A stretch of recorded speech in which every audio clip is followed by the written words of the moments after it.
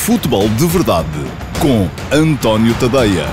Que as três equipas portuguesas entram na próxima ronda, os 16 avos de final da Liga Europa e os 8 avos de final da Liga dos Campeões, em condições de discutir o apuramento. Se tivesse que dar percentagens agora, e daqui até lá muita coisa pode mudar, atenção, eu diria 65-35 entre Juventus e Porto, 60-40 entre uh, uh, Roma e uh, Sporting Clube Braga e 50-50 entre Arsenal e Benfica. Mas daqui até lá muita coisa vai com certeza mudar e não necessariamente para pior nos adversários das equipas portuguesas. Fiquei, devo dizer, impressionado com a facilidade com que o Sporting se desfez do Passo de Ferreira.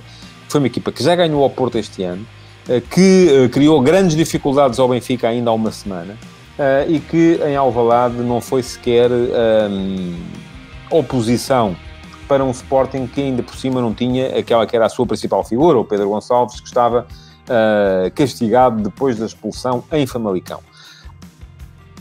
O Futebol do Porto, no jogo com o Tondela, uh, não fez um grande jogo é preciso dizê-lo. Eh, mas também não foi posto à prova como tinha sido, por exemplo, no jogo da, eh, da Liga, que tinha sido há uma semana, precisamente. Há uma semana o Porto tinha ganho por 4 a 3, eh, desta vez ganhou por 2 a 1. Duas vitórias pela margem mínima.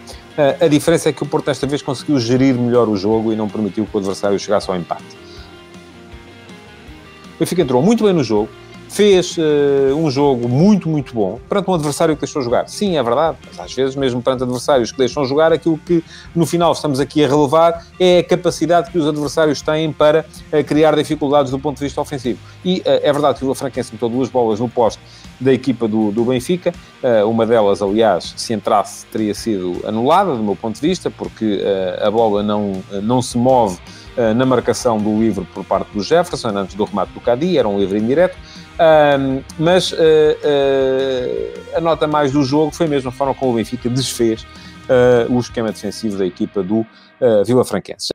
Futebol de Verdade, em direto de segunda a sexta-feira, às 12h30